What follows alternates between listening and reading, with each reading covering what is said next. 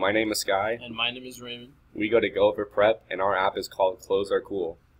Our app is made to help further the creative minds of fashion designers. The platform we use was MIT App Inventor 2, which is an open source web application originally provided by Google and now maintained by MIT.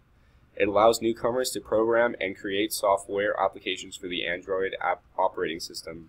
On this app, designers will be able to upload designs and also create designs on the actual app.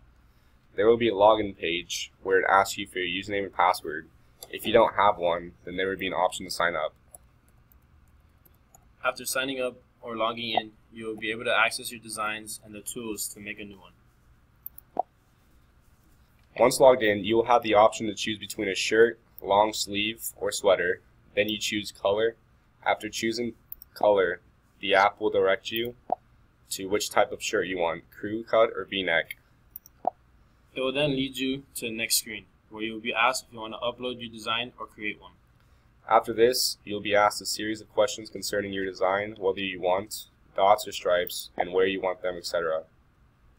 When you are finally finished, you will be able to upload your design and get feedback from other inspired fashion designers. We would like to thank you for your time and consideration in the app challenge.